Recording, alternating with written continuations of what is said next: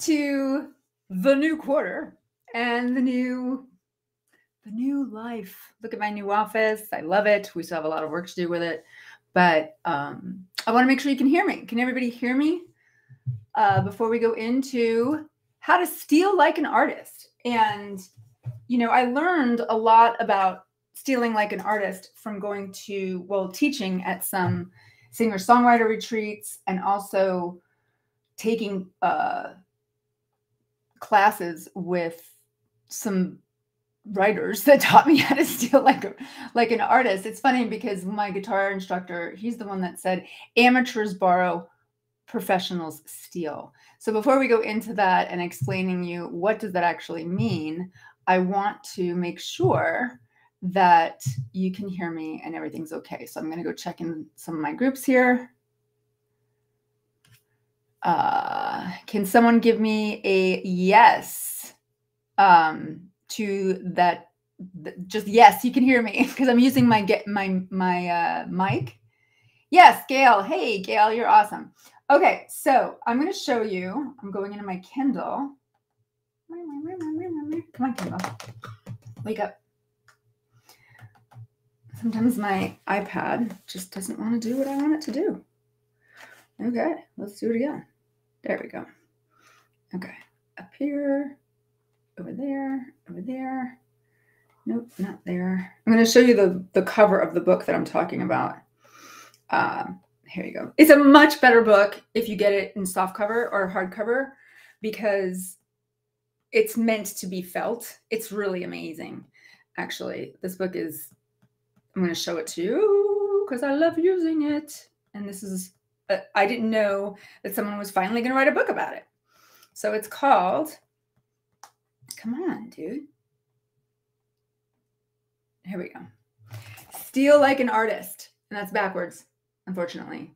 Is everything backwards? I'm noticing that my words are backwards, which is unfortunate. So let's see if I can fix that. I'm not sure how. Orientation selection not available while live. Um, share screen, disable settings. Let's see if I can get the settings to uh hey there we go. Boom. All right, let's see. Now you can now as far as I know you can read it. Steal like an artist. Um, and he wrote this book. It's a short book. Um, and you know how much I love short books. And he goes through each section and goes through like the stories of genetics, garbage in, garbage out. He explains what other um, artists do and how, you know, you've got to school yourself and save your thefts for later, you know, as you school yourself on what this means. Make things and know yourself first. So it's not about, you know, nobody is born with a style or a voice, he says. Um, so it's up to you to find your style and voice. Now, that's pretty easy actually. And if you want to work together, let me know. Um, if you're interested in my one-on-one coaching, just put in the comments, uh, yes, I'd like a free strategy call. And we can go over a strategy that works for you to get your book out. And if you're an entrepreneur, definitely, definitely write a short book because this is my new book. It's in pre-order right now, and I'm going to put in the comments um, the where you can buy it. So the pre-order is a signed copy. Hold on. And you also get a 90 minute bonus workshop that's exclusive to just the people who have bought the pre-order.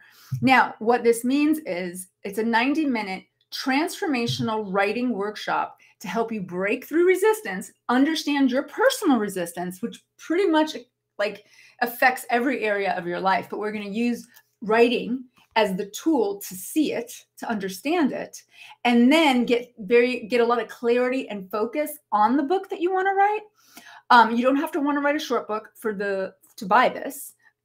This is not about writing a short book. This is about breaking through the fear of uncertainty to write your book because we're so uncertain. I've had strategy calls and consultations recently with people that you know they're already like well what am i going to do with the book when it's written? I'm like you got to write the book first and then it actually tells you what to do. By experiencing finishing a book, you will know what to do with the book. That's the irony. You've got to get to the end. You've got to work your finishing muscle.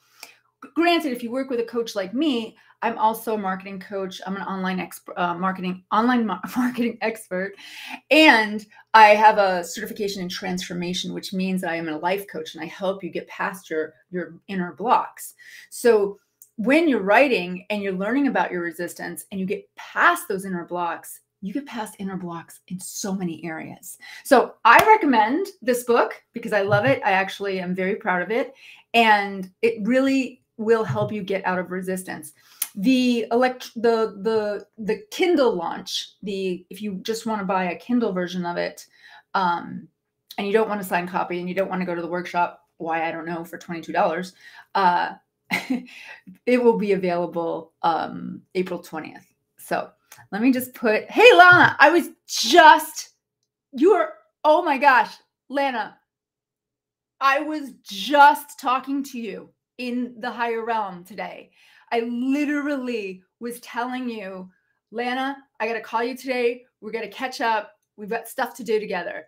And I just know that you heard me because we're both highly intuitive and psychic. Okay. So grab that, uh, grab one of these and um, I'll sign it and you can bring in the workshop and that'll be awesome. Or just talk to me.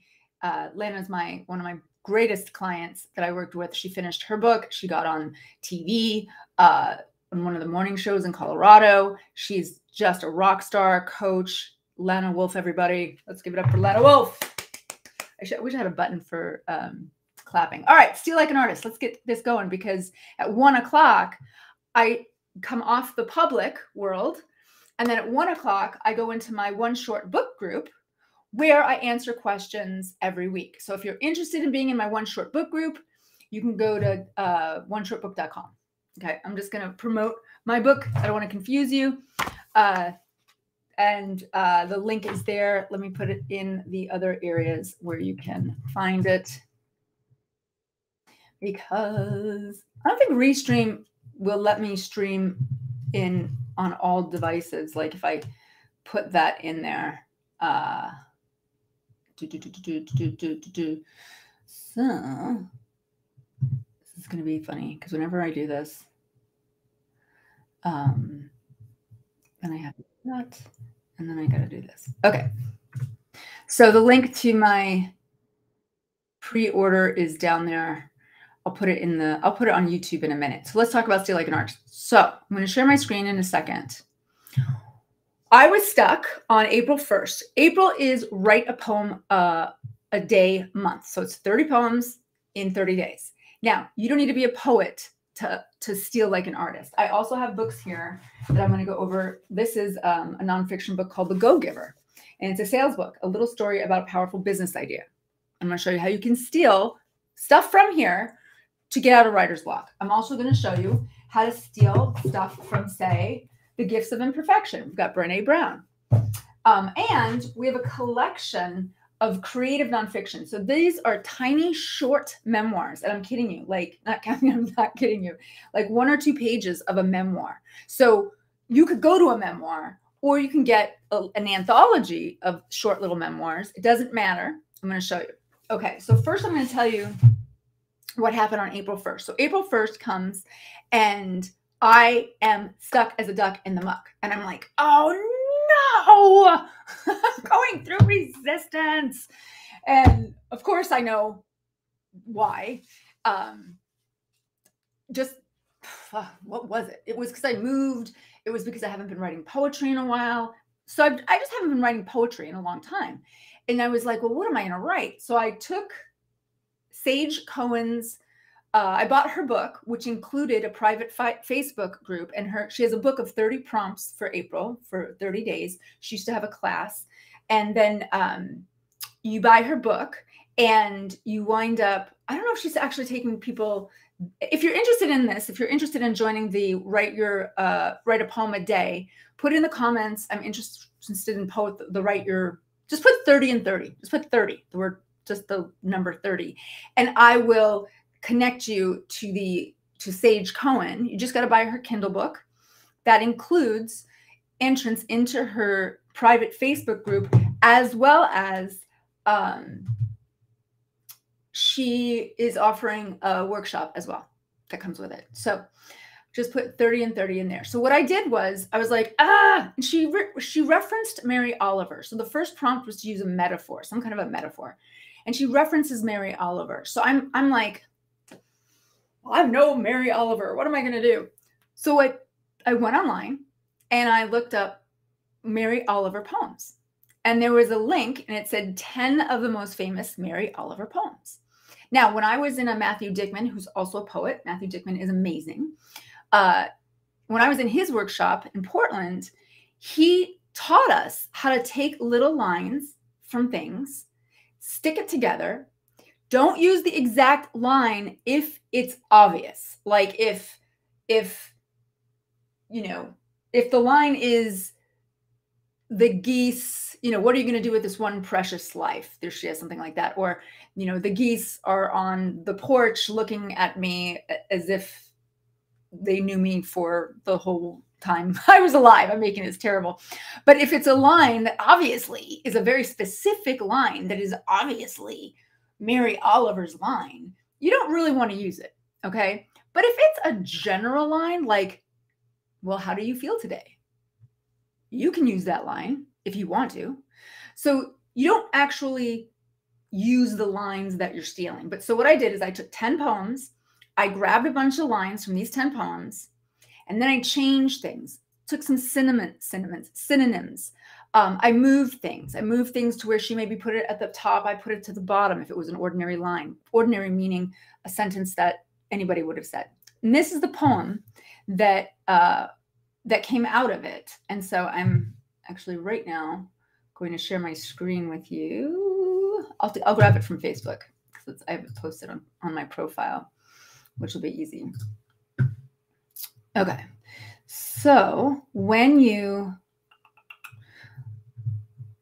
right here's day one of 30 okay so here's what happened and these are all from different poems from mary oliver that i then changed some of the adjectives, I looked up some synonyms. I changed, put, put things in there that only I said, like when I talk about Morse code, you know, that's me. So here you go. Here, let's look at this real quick. You'll get what I'm saying. Here, and I'll even do this. Uh, 10 best Mary Oliver poems. And then we'll go on quickly to show you how this works in nonfiction and memoir. All right, so let's see. Share screen. Okay. Can I share the whole thing? Oh, well, let me show. Okay. First, let me share this. So you should be able to see this. Yes, you can. So these are 10 that you should read. So there was the swan. So like, for instance, I clicked on the swan. Let's see if I can remember what I took. Um,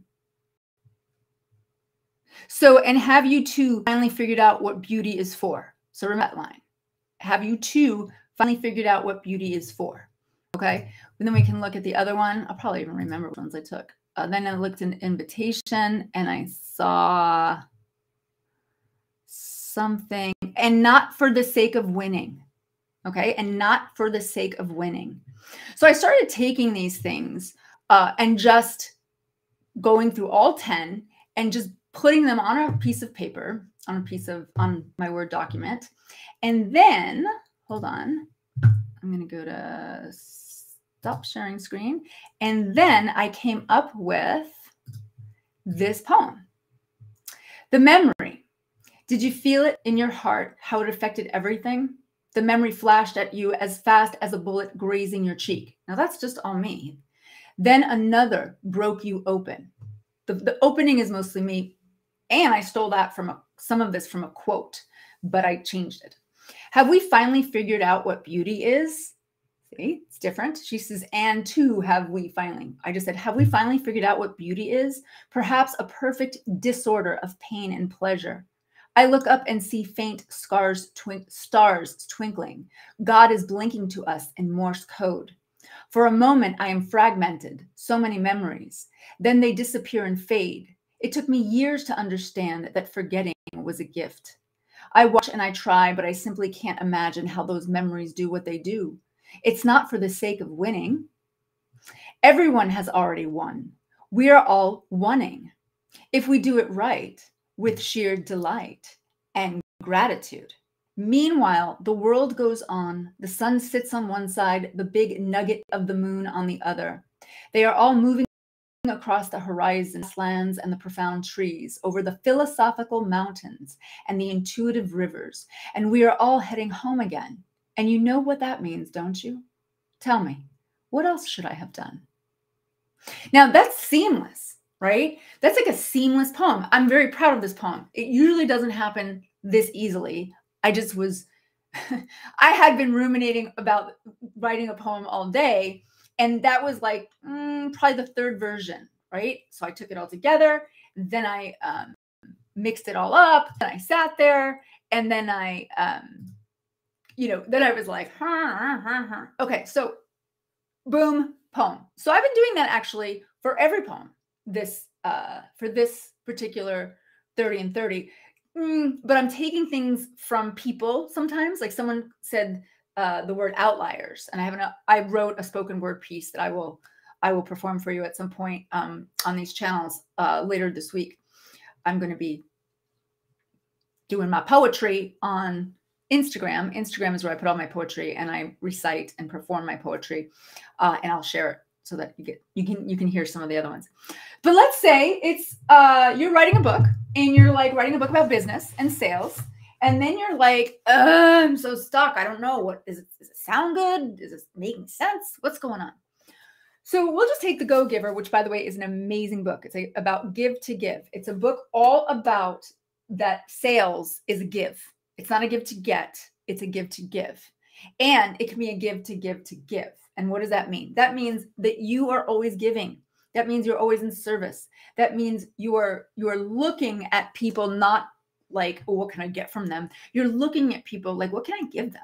What what what bonus can I give them if they sign up with me? What what can I do to enhance the experience that they have with me uh, as a coach? That's or as a whatever you are you can be a vacuum salesman and still have an amazing philosophy on how you're going to give to give. So the Go Giver is a great book. And say you're stuck. So you go and you open a page and you say, hmm, let's see. Joe grappled with everything he'd heard. It seemed to make sense, at least, when these two characters were saying it, but as far as he could see, I just didn't square with the experience. I have a hard time seeing how dash. Ah, said Pindar. So if I was writing a book about sales and business, and there I am just telling people what to do, well, you should do this, you should do that, you should do this, you should do that. And then if the person says this, and then if you budget this and make sure you follow up with that, and this is all stuff you can Google, right? So if you can Google it, it's probably not going to be a very popular book because people can Google it. But if you want to put your story in it and yourself in it, so look at this. Third, third uh, Chapter 3. Just before noon that Monday, jo- Joe arrived at the great stone mansion, eager to see what lay in store. All he knew was that he would be meeting with Pindar and a friend of his, a real estate magnate, who had uh, who had agreed to talk with Joe of the first law of stratospheric success. Okay, but notice how he opened it just before noon that Monday. And then he's got this character that he's working with in terms of teaching him sales. Hmm. Maybe if I was writing, I would say, wow, I'm writing too much about how to do this thing that's Googleable. Googleable. I love that word. I made it up. Googleable. But I'm not really bringing the reader in. So I might say, hmm, just before noon on Monday, maybe I'll open my book with, hmm, let me see what he has for the first chapter the first chapter, he immediately goes, not long, oh, that's the introduction. Hold on. If there was anyone at the Clayson Hill Trust Corporation who was a go getter, it was Joe. So I'm like, oh, he's using this character named Joe to help demonstrate how he's teaching sales and business with a heart. You know, how do you teach with a, you know, sales with a heart? And I thought, or you can think, I need a character. I need to bring the reader in. So you can grab some of this. I mean, he says, not long after, um, sorry, that's the introduction again. Uh, you can look at all the beginnings. The next morning, Joe arrived at the address. Okay, so I'm going to put, I'm going to just write, take some of these beginnings of chapters And I'm going to see how can I bring my reader into my book the same way that Bob Burg and John David Mann did when he wrote when they wrote this book. I'm going to put people in a situation and they're going to follow this situation through the book and I'm going to pull, you know, pull out little bits that are going to be totally different when I do it, but I'm going to use the same format, the same voice, the same way that he's doing it. Or let's talk about the gifts of imperfection. We all know Brene Brown is amazing. And she couldn't write. She said she couldn't write. She was a speaker until she met Liz Gilbert. And Liz Gilbert um, pretty much taught her how to write by talking, talking it out with people, and then writing. So not too long ago, the principal of a large public elementary school and the president of the school's parent teacher organization invited me to speak to a group of parents about the relationship between resilience and boundaries. Oh, okay. So, say I'm teaching about resilience and boundaries. Lots of books out there about that. She brings us into a situation where she's teaching. So I say, hmm, I wonder if there's a conversation I had with a client or you know i wonder if there's uh some did i ever teach this? Yes i did actually. I've taught resilience. Huh where was i? I was in portland. I was in portland uh, community college and i was asked to teach uh, a class to at-risk youth about resilience and boundaries. Perfect. So i'm going to go wow i'm going to steal this idea that she was putting the reader somewhere where the reader could pretend to be with her and now the reader is getting told a story. I would maybe say what the classroom looked like, what the teenagers looked like. And then I would start talking more about the importance of resilience and boundaries and exactly how they um, work in. You know, so I would look at hers and I wouldn't steal the exact thing that she did, but I would look at how she did it. Okay. Finally, memoir.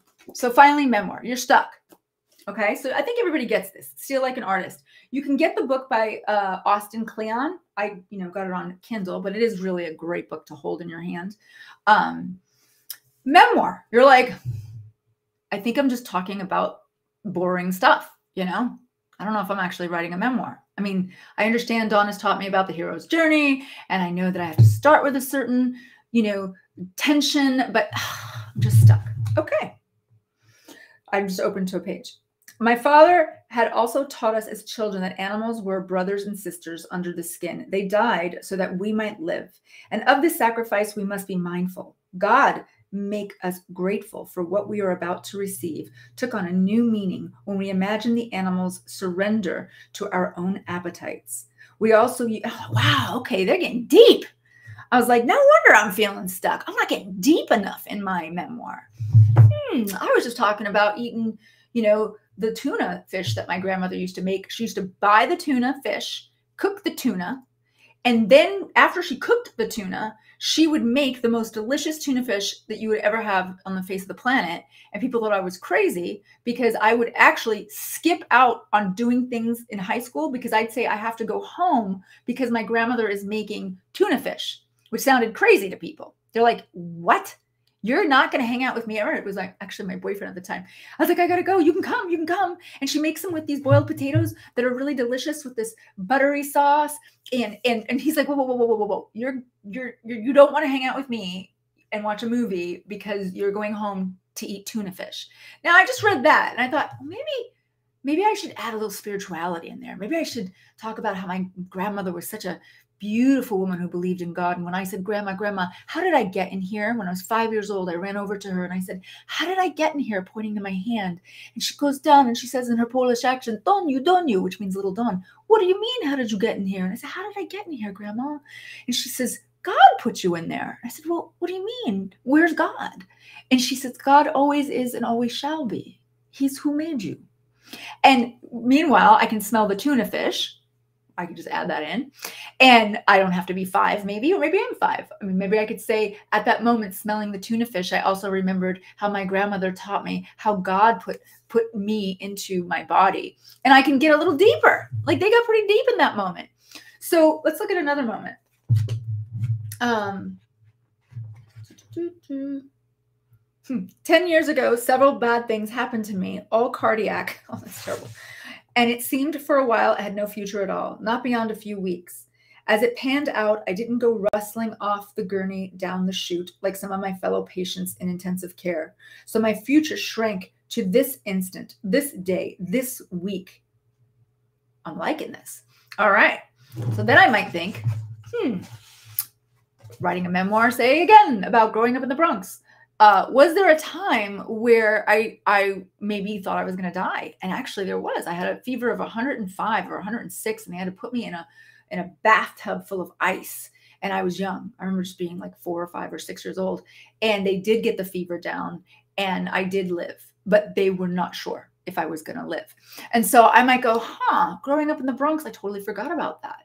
So will I use it in the memoir completely? I don't know, but it'll get you out of it'll get you out of uh, writer's block. It'll totally get you out of writer's block. So you just just open up a memoir, see or a collection of memoirs, and see where are they going that they got these are these are famous ones. I mean these these are bestseller kind of work. So and Mary Oliver is obviously she was the poet, poet laureate of uh, the United States. And then we have The Go Giver, which was a New York Times bestseller. So I'm saying, like, go for the big stuff, go for the good stuff, and then see how they're writing. And then where can you grab something that stirs up something that makes you go, ah, I know I can take it this direction, or I can use that because I have that memory. So hopefully this was helpful.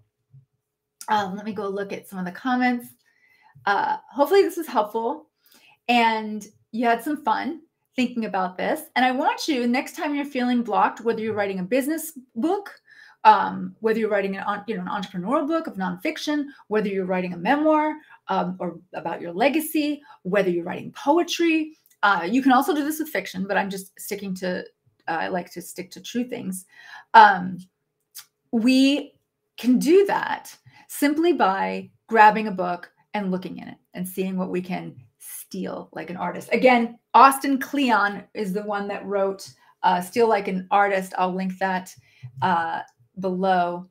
And um, here we go. Uh, Steal Like an Artist by Austin Kleon is just a really great book. Um, if you want to go deeper into this concept, he uh, explains it, and it's a short book. It's a beautiful book. Um, all right, everybody. Well, I've gotta go. I'm gonna now switch over to my one short book group. That's a paid private group of clients and wonderful people who have joined my one short book revolution. And uh, they're working on their short book. Uh, it's a program that you have access to. You can go to oneshortbook.com and you can join us in there. There's lots of bonuses, lots of fun things. And I go in there live every Wednesday at one o'clock uh, to answer their questions on their books and what's going on, everything from outline to finish line and beyond. And a bunch of them has have reached bestseller. So a short book is the new bestseller. And I hope you had a wonderful time stealing like an artist. I'll be back next week uh, where we're going to talk more about emotional writing. We're going to talk more about, and this is great for businesses, right? People buy from emotion. We know this now. They buy from emotion. Emotions is what drives the the customer. Buyology is a great book about that. Emotion is also what gets you into a memoir emotion right? So how what are the tricks that i can teach you about getting emotion into your writing? So again this is not googleable. It's you it's your emotion it's your message. And don't forget to pick up a copy of cracking the resistance code pre-sale ends on sunday on easter sunday you won't get a signed copy and you won't be able to get into the workshop 90 minute workshop on transformation on writing on transformational writing and getting focus and clarity and figuring out your resistance style. So grab the pre-order and everybody else who's in my one short book group i will see you in the group. Bye bye and if you have any questions or again if you want a strategy call with me just write in the comments yes um, i want a strategy call yeah, I want a free consult, a free call, whatever you want to call it. And I will reach out to you and we can schedule a call together and see if I can be of support. All right. Talk to you soon. Bye. Let me just figure out how to get out of here.